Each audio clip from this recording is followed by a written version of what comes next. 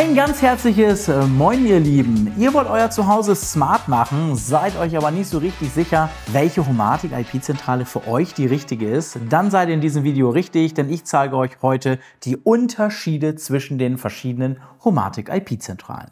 Zunächst einmal ist es so, dass ihr alle Anwendungsbereiche, wie zum Beispiel Zutritt, Licht, Rollladensteuerung oder aber auch Raumklima mit jeder Basisstation abdecken könnt. Aber es gibt eben Unterschiede in den einzelnen Basisstationen, was die Technik dahinter angeht. Und da würde ich euch zunächst einmal gerne den Access Point zeigen, der Funk Access Point, der eben grundsätzlich mit allen Funkprodukten sprechen kann. Eingerichtet und bedient wird dieser Access Point mit der Homatic IP App. Die Homatic IP App arbeitet zusammen mit unserem sicheren Cloud-Server und darüber findet dann auch die Verbindung statt. Das heißt, euer Smartphone stellt eine Verbindung zu unserem Cloud-Server her und der Cloud-Server wiederum spricht mit dem Access Point, an dem die jeweiligen Geräte angelernt sind. Hier haben wir natürlich die Möglichkeit, auf externe Dienste wie zum Beispiel Amazon oder aber auch Google Home oder auch ein Philips Hue-System zuzugreifen, allerdings in Form von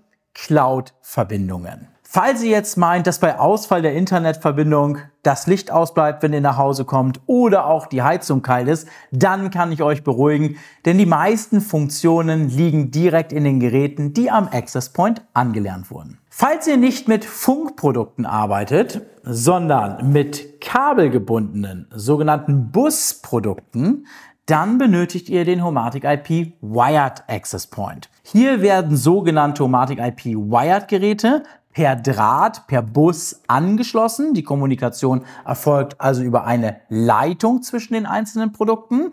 Ansonsten ist dieser Access Point genauso wie der Funk Access Point über die Homatic IP App steuerbar. Natürlich habt ihr auch die Möglichkeit, den Wired Access Point in Kombination mit einem Funk Access Point zu verwenden, falls ihr eine Mischinstallation aufsetzen wollt. Für die Technikenthusiasten unter euch, die viel Freude am Programmieren haben, gibt es noch die CCU3.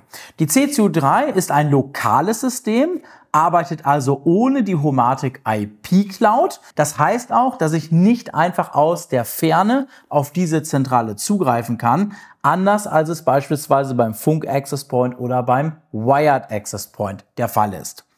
Dafür lässt die CCU3 eine höchst individuelle Programmierung zu und kann unter anderem durch Zusatzsoftware an eure Wünsche angepasst werden. Bitte bedenkt bei der CCU3, dass ihr hier nicht die Homatic IP App einsetzen könnt. Und nun kommen wir zu unserer neuesten Zentrale, die Home Control Unit. Sie vereint die Vorteile aus beiden Welten. So haben wir einerseits die Möglichkeit, mit der Homatic IP App hier zu programmieren und auch zu bedienen. Also das, was ihr bereits von unserem Funk und Wired Access Point kennt.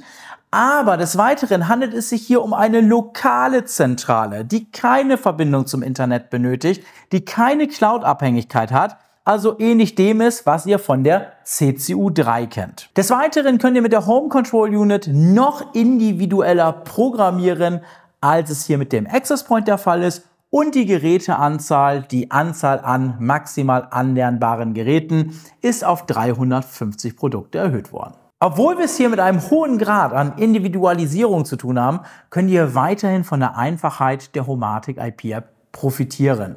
Zusätzlich gibt es noch eine webbasierte Oberfläche, in der ihr tiefergehende Konfigurationen des Systems anpassen könnt. Ich hoffe, dieser Überblick hat euch geholfen bei der Auswahl der passenden Zentrale. Schreibt uns gerne mal in die Kommentare, welche Zentrale ihr bereits nutzt oder aber auch zukünftig vielleicht verwenden werdet.